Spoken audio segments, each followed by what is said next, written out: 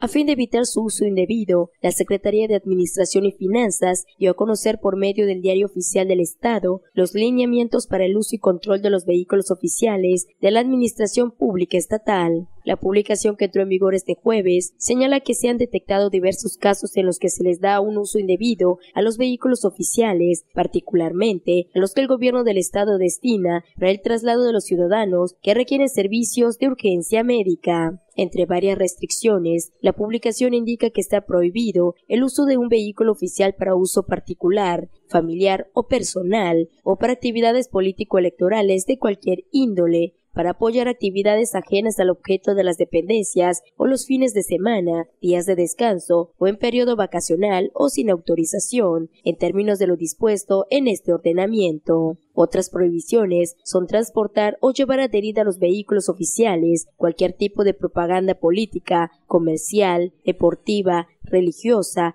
o de cualquier otra índole, estacionar los vehículos oficiales en lugares prohibidos o realizar cualquier actividad que dañe la imagen del gobierno del Estado, violar cualquier disposición aplicable en materia de tránsito y vialidad. Notivisión.